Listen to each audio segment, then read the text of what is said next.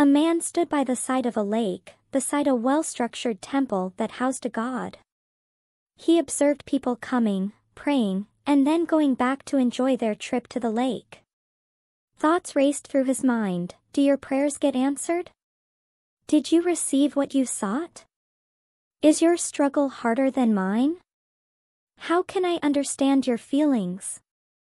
There was no response, only the sound of leaves dancing with the wind and birds singing melodies. But the one seeking answers felt nothing, heard nothing. His mind was filled with ripples, like the surface of the lake disturbed by the wind.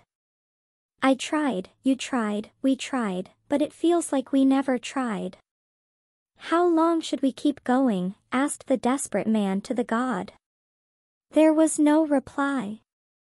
It seemed as if there was a network issue, and our message was stuck in the middle of nowhere, just like our dreams and goals. What should we do?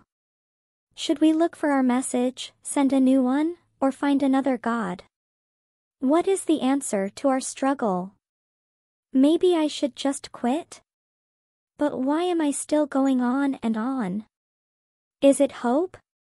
The only one remaining by my side. Can hope take me to the other side? Who are you, hope?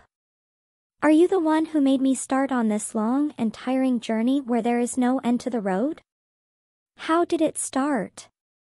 I can't even remember. Tell me, Hope, how did we start?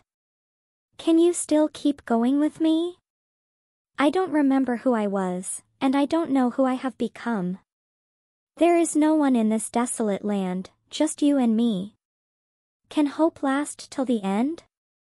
Maybe if I take the next step, I can reach where I want to go. Maybe just one step, maybe, just maybe.